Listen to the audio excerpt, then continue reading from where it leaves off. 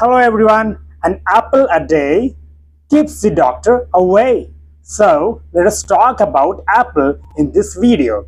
The scientific name of apple is Malus domestica. Apple is also known by various other names like Pyrus malus, Malus pumila or Malus domestica.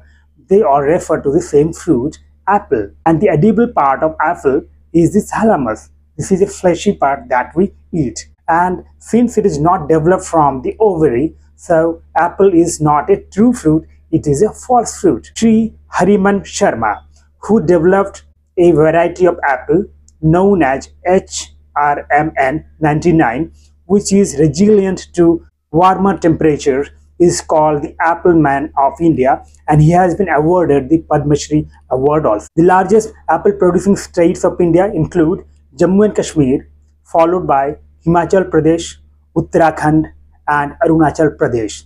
When it comes to global production, China ranks first in the apple production followed by USA. There is an acid which apple contains.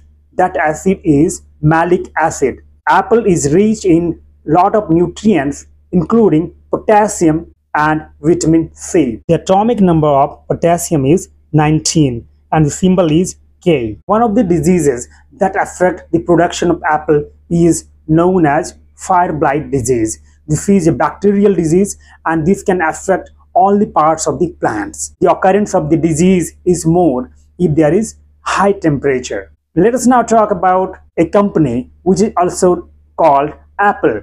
This is a tech company based in the United States of America and the co-founder of that company is Steve Jobs and that company makes a lot of products like iPhone, iPads and there is a virtual assistant named Siri that was developed by this company. And the tag of this company is think different. I hope you like this video. Please subscribe to my channel for more such interesting and wonderful videos. Thank you. Namaskar